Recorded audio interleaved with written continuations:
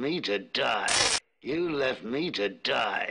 You left me to die. We're hearing reports that a number of police officers are missing. Seems pretty obvious that Harley Quinn is involved.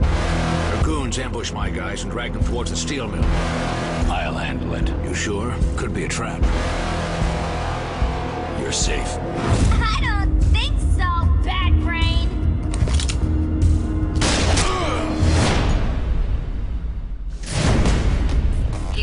two days. I'll find him.